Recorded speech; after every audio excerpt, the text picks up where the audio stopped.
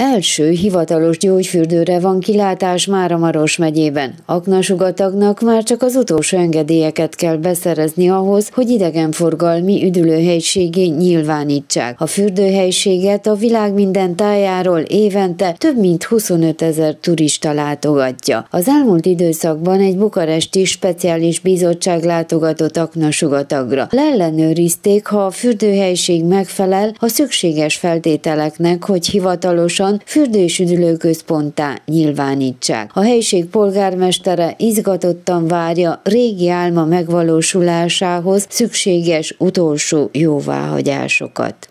Volt egy közbenjárásom a turisztikai minisztériumnál és a fürdőhelyek nemzeti ügynökségénél. Bukarestből négy képviselő érkezett ide. Ketten a turisztikai minisztériumtól és ketten a fürdőhelyiségek nemzeti ügynökségétől. Meglátogatták a fürdőhelyiséget és a sós vízforrásokat. Leellenőrizték a turizmusnak megfelelő feltételeket. Méréseket végeztek, mennyit süt a nap és mennyi időt felhős az ég reggel, délben és este. Lemérték a levegőt levegő összetételét és az ionizációt, magyarázta Ivácuk Mihály, Aknasugatok polgármestere.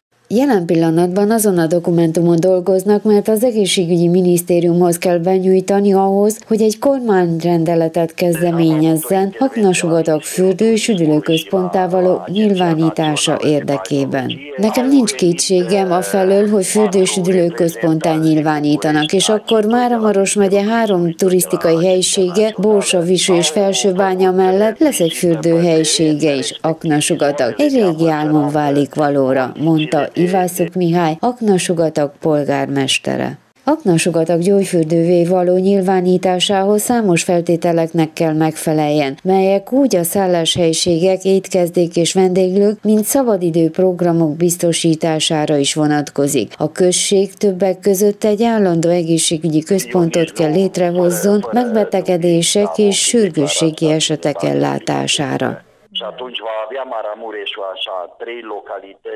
De stațiuni turistice de interes local, respectiv Borșa,